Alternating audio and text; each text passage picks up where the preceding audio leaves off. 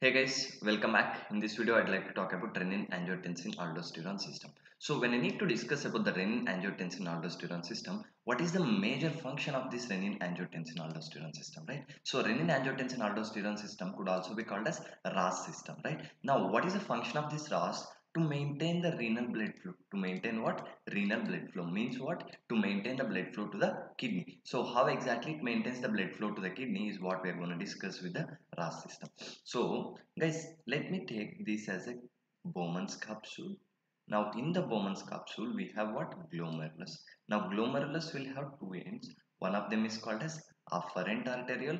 The other one will be called as efferent arteriole. Now this will be efferent arteriole. This will be afferent arteriole. Now what happens in the afferent arteriole? In the afferent arteriole of a glomerulus contains some cells called as JG cells.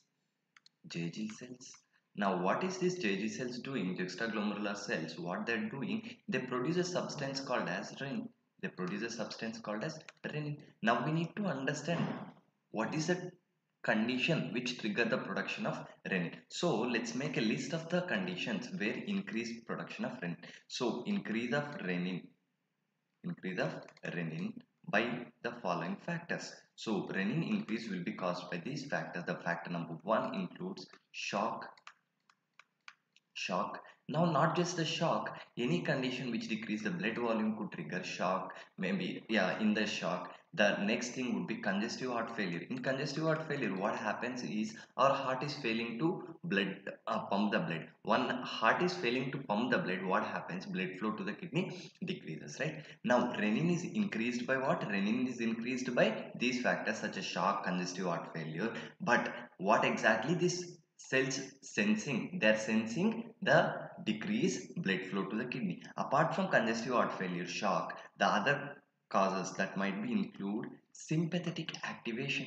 Now what happens with the sympathetic activation? Most of us will forget this thing sympathetic activation with the stimulation of beta 1 receptor leads to the production of renin leads to the production of renin. All right now we know the factors which increase the renin. Now when exactly renin is produced guys look at this. All of the condition congestive heart failure heart is failing to pump the blood. Means if heart is failing to pump the blood means enough quantity of blood is not reaching to the kidney. At the same time shock means decreased blood quantity decreased blood quantity means enough quantity of blood is not reaching to the kidney. Okay beta 1 stimulation they are directly stimulating the jg cells and causing the production of renin. So what is the common thing among all these is decrease renal blood flow renal blood flow. Now what happens with the decrease of renal blood flow? Renin will be produced. Now let's look at what happens what with this renin right?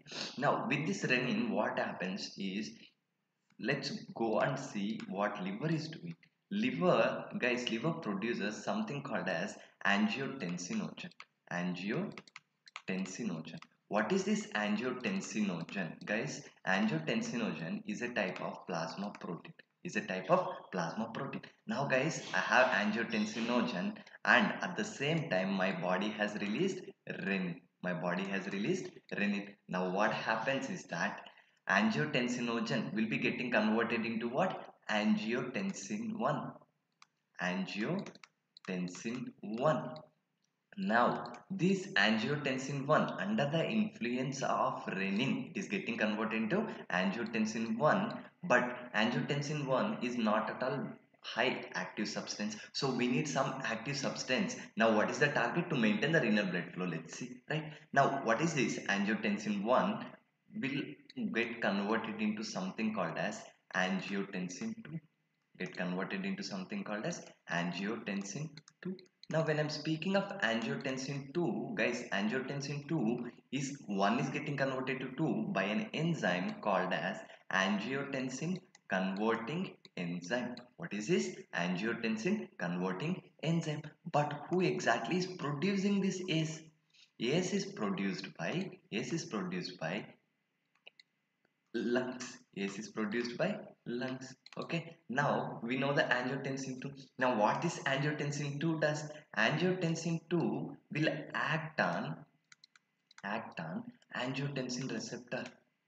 Angiotensin receptor which is that angiotensin active form. The active form of angiotensin is angiotensin 2 now angiotensin receptor means which receptor for angiotensin? Exactly angiotensin 2 receptor. Angiotensin 2 receptor when it act on the angiotensin 2 receptor where these receptors are sitting the next factor is that they're sitting in the blood vessel. If they're sitting in the blood vessel what happens if I stimulate this angiotensin 2 receptor? We already know it is vasoconstriction. Vasoconstriction. Now vasoconstriction happens means what is happening guys it is leading to increase of the blood pressure. If increase of the blood pressure means what is happening? Blood flow to the kidney is being increased. So this is a story of our angiotensin 2 but the story never ends, ends here. Now what happens with this angiotensin 2 angiotensin 2 will act on one more place that will be it act on the adrenal gland. It acts on act on adrenal gland where exactly in the adrenal gland? Yes or no? Now when i'm speaking of adrenal gland adrenal gland has two divisions. One of them is adrenal cortex. One of them is adrenal medulla. Yes or no? Now where exactly it works? Angiotensin 2 stimulates the place of adrenal cortex. When adrenal cortex gets stimulated they will produce a substance called as mineralocorticoid. Mineralocorticoid. Okay now, when it produces mineralocorticoid, which mineralocorticoid is that? The mineralocorticoid which will be produced will be aldosterone. Aldosterone. Now, what happens with this aldosterone? Aldosterone will act on the nephron again. Where exactly in the nephron? Act on collecting duct. Collecting duct of the nephron. Now when it act on the collecting duct of the nephron, where exactly in the collecting duct of the nephron? So if I consider this is a collect distal convoluted tubule of a nephron and this is a collecting duct of a nephron, right? Now in collecting duct, we have cells. In collecting duct, we have cells. Now what are the two types of cells we have in collecting duct?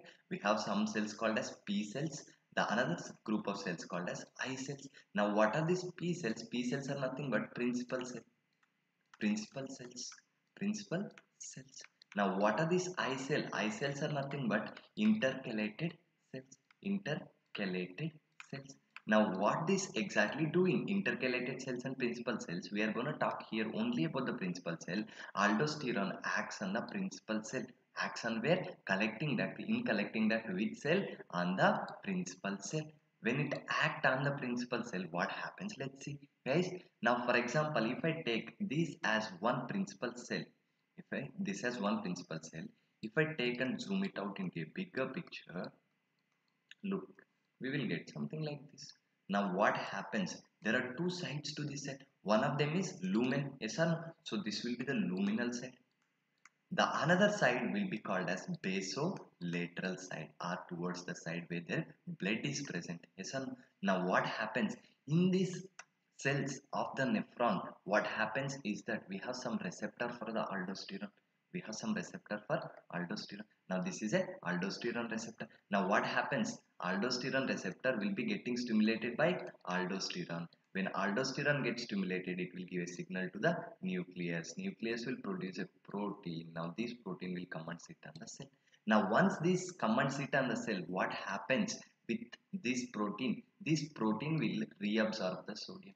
This protein will do what? Reabsorb the sodium. Now in kidney we have a rule. Now sodium is inside the cell. It is being reabsorbed. It will be taken up to the blood if it is taken up to the blood what happens sodium is reabsorbed means it is taken back to the blood so what will happen sodium in the blood will be increased increase sodium now remember one rule of the kidney golden rule of the kidney that is wherever sodium goes water goes with it so it will increase reabsorption of water also. Now at the same time what happens? It will excrete the potassium ions. It will excrete the potassium. Where potassium is coming from? Potassium is going to come from the blood. So if potassium is coming from the blood, what will happen? It will decrease the potassium levels. It will decrease the potassium levels. Now aldosterone is doing what? Increasing the sodium and water, decreasing the potassium. So by this logic, what aldosterone does to the body? hypernatremia hypernatremia and at the same time hypokalemia hypokalemia hypokalemia. Means decrease of potassium in the blood. Hypernatremia means increase of sodium in the blood. Clear? Now what happens with this much? Now sodium and water has increased guys. When sodium and water increase, what happens to the quantity of blood? That will be increased. So that will lead to increase of the blood pressure. When blood pressure increases, what happens is increase the blood flow to the kidney. Increase the blood flow to the kidney. So what is the end result? What what are the factors which occur in the body as a result of stimulation of RAS will be increase of sodium, yes or no? Increase of aldosterone, increase of aldosterone, decrease of potassium, vasoconstriction. Why vasoconstriction? Because of angiotensin 2 receptor stimulation, that is vasoconstriction. Now, these are the effects which are produced in the body, which are produced in the body as a result of stimulation of which system? Renin, angiotensin, aldosterone system. So, guys, by this thing, our blood flow to the kidney has been increased. The major target of our renin, angiotensin, aldosterone system is what? Is to have enough blood flow to the kidney. Now, where exactly it is sensed? the blood flow to the kidney is sensed by these people who are sitting where in the juxtaglomerular in the afferent arteriole which cells are those JG cells uh, the story starts from the renin here the story starts from the renin production clear guys. So this is story of our ras. Thank you. Keep following